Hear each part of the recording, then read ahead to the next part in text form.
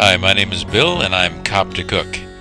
I want to talk with you about Franz and the bakery outlet. It's on Biddle Road in Medford, Oregon, right next to the Sizzler. I love their breads. We have been uh, shopping there for the last uh, few weeks, and they have a lovely double fiber uh, bread that is wonderful. It tastes great. It's high in fiber. It's it's good for you on a eating plan, Weight Watchers, what have you. This is the ticket for you. They uh, also have a European classic thin sandwiches. It's high fiber, five grams of fiber. Thin sandwiches, great. They, they come apart in half and can put them in the toaster and stuff. Really, really great. So the double fiber bread from Franz is fa- fantastic.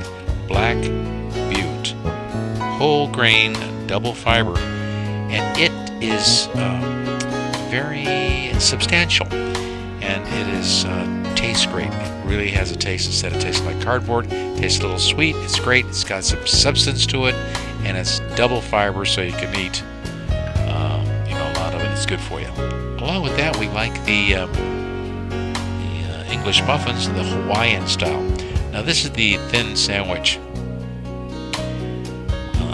product there, there, the European classic, and it is great, great stuff. Make sandwiches and what have you with it. And like I say, the double fiber bread is the ticket, and also the Hawaiian. It's a little sweet taste for the English muffins from Franz. Franz is the ticket, I'll tell you. Right there on Biddle Road, right next to the Sizzler. Please stop by, friendly people.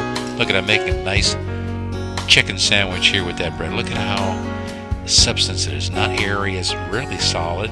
Double fiber, whole, whole grain, and um, put a little mustard, a little mayo, like my wife likes it, with a little bit of fresh chicken just out of the oven, and uh, it tastes great. That bread is good, a little sweet tasting. It's fantastic and better for you than